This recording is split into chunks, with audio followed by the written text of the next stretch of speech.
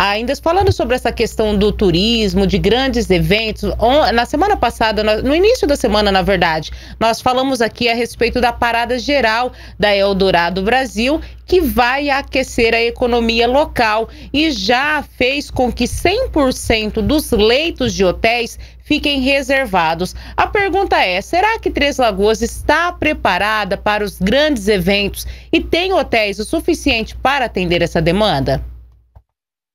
Devido às grandes indústrias de celulose instaladas em Três Lagoas, a cidade passou a ter grandes eventos de negócios e, diante disso, dependendo do evento, faltam vagas nos hotéis da cidade. O evento Show Florestal, por exemplo, pode ser realizado em Campo Grande no ano que vem, justamente pela falta de vagas em hotéis, segundo os organizadores. O presidente da Associação de Bares e Restaurantes e Hotéis da cidade, Marcos Antônio Júnior, diz que a falta de vagas existe quando se trata de hotéis de classe A. Quando a gente fala do show florestal, é um público que vem para o público A, né? Então ele busca hotéis A. Esses hotéis nós temos três quatro, talvez, em Três Lagoas. Depois nós temos hotéis B, né, de classificação ali de duas estrelas, vamos supor. Esse tem bastante. Então acaba que a, é, a procura para esses hotéis A são muito grande durante o show florestal. E aí a gente tem esse problema devido a isso. Porém, Três Lagoas, se quiser atender o show florestal realmente com apoio dos alojamentos, e quando a gente fala alojamento, às vezes as pessoas têm preconceito. Tem alojamentos que são muito melhores que os hotéis. Né? Então é isso que a gente está tentando quebrar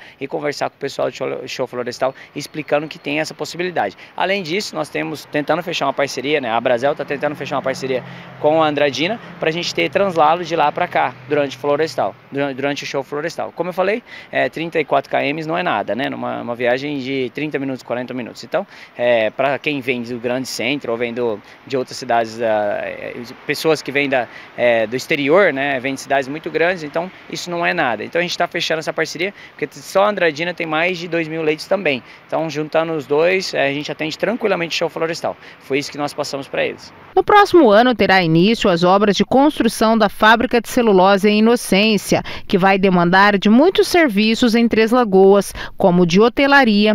A tendência é que falte ainda mais vagas em hotéis, mas o presidente da Abrazel diz que é preciso analisar a situação por outra ótica.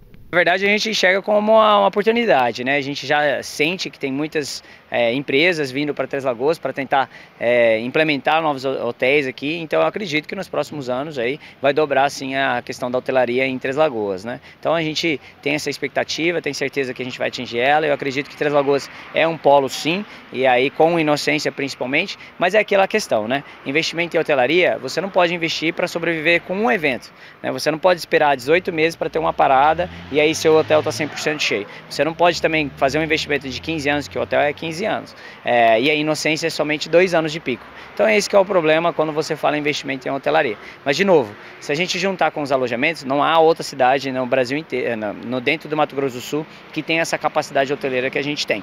Por exemplo, é, Três Lagoas é uma das únicas cidades do estado que tem condições de receber os jogos jurídicos né? Os jogos do estado, os jogos, é, enfim.